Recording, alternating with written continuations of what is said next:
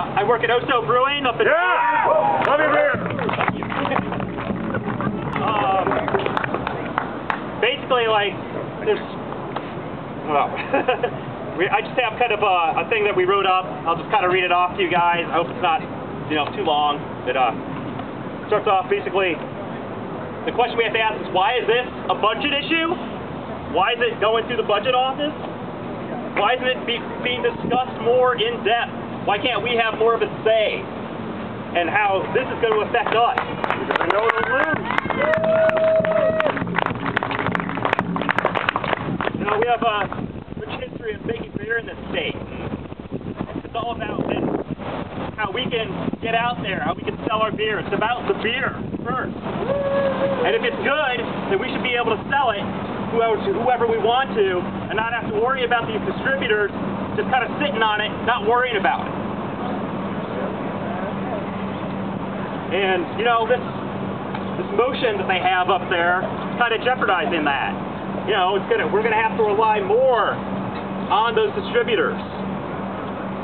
Um, and what Miller Coors is saying, and I don't mean to, you know, repeat what I was already saying, but they're saying, hey, that big bad AB InBev we're worried that they're going to buy up our distributors and we won't be able to sell our product. We don't have to worry about them. But they haven't done that yet.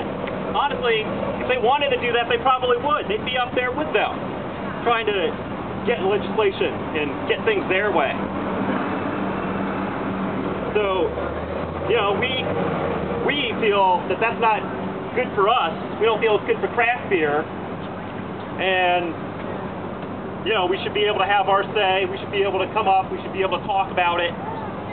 Um, the other thing we're kind of worried about is, you know, they have this one guy sitting up there next to Governor Walker, and, you know, it's going to be his interpretation of the law. He's going to be like the king over all the beer.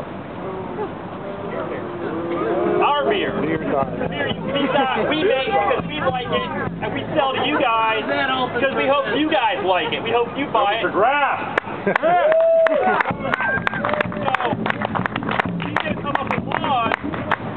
you know, and who's going to make, you know, another thing that we're worried about? How are they going to choose who this guy is? Or person? Who's going to choose who this person is? They don't say that. Biggest contribution. Exactly. You know? I mean, and then there's no, they're not telling us how much they're going to charge for us to be able to sell our beer. There's nothing in there that says that. So that's another thing we're worried about. We want to be able to discuss this. We don't want just to have some pending thing hanging over our heads saying, all right, we're going to charge you this much, but next year we're going to charge you more because you're doing a little too good. So, just want to thank you all for coming out.